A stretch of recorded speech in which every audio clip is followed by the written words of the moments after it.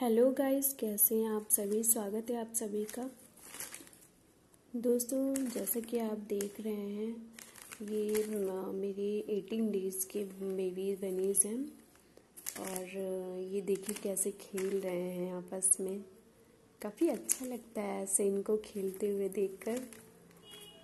को एक सुकून सा मिलता है। बहुत ही प्यारे प्यारे बहुत ही क्यूट हैं। देखिए। दोस्तों, जैसा कि आप जानते हैं, सर्दियों का मौसम शुरू हो गया है और सर्दियों में इनकी एक अलग से केयर करनी होती है, जो आसान नहीं होती है इनको बचा पाना। बहुत सारे बनी बेबीज जो हैं, सर्दियों में ठंड लगने की वजह से ये इनकी डेथ हो जाती है और कई बार इनको, इनकी अच्छे से केयर न करने पे भी इनकी डेथ हो जाती है।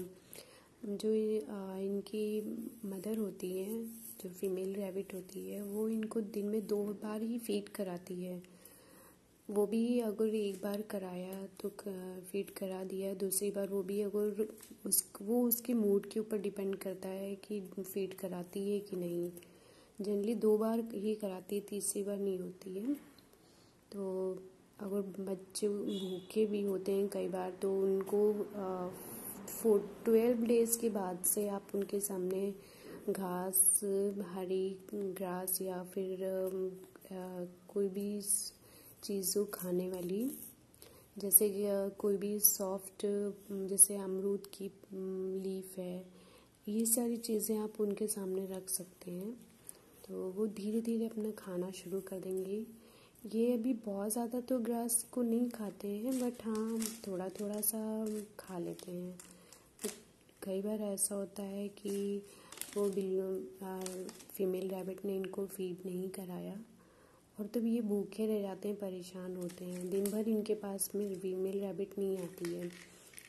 इनको जैसे दूसरे जानवर होते हैं, अपने बच्चों के आसपास ही रहते हैं बट नहीं, वो अलग खेला करती है इधर उधर बैठी रहती है, अपना खाती पीती रहती है बट सुबह शाम में बस एक बार, वो भी अपने अपने मूड के हिसाब से आती है वो। ठीक है। मुझे भी पहले बिल्कुल भी आइडिया नहीं था। जब ये एक्चुअली uh, मुझे पता ही नहीं था कि मेरी फीमेल रैबिट प्रेग्नेंट भी है। ये तो दिवाली के दूसरे दिन से मुझे पता चला जब मैं वो कुछ कुछ अपना सामान एक घर के कोने में अपना सामान कलेक्ट कर रही थी। तभी मुझे पता चला कि हाँ मेरी फीमेल रैबिट प्रेग्नेंट है। उसके बाद से बिल्कुल मुझे आइडिया नहीं था कि कैसे क्या होगा। मैं बहुत ज़्यादा परेशान थी कि इतनी छोटी सी मेरी रैबिट है और इसलिए भी जब मम्मा बन जाएगी, फिर कैसे केयर करेगी, कैसे क्या होगा? और बच्चों की केयर मैं कैसे करूँगी? जैसे कि आप देख रहे हैं बेबी बनी साथ मेरे एटीन डेज़ के हो गए। और ये दिखने में बहुत ही ज़्यादा क्यूट है, इतने सॉफ्ट है, इतने क्यूट है। देख रहे हैं आप कैसे? ओ my god I love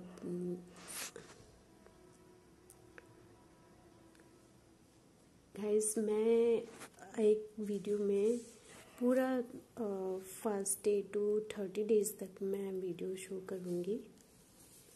आप देखिएगा कैसे इनकी ग्रोथ होती है।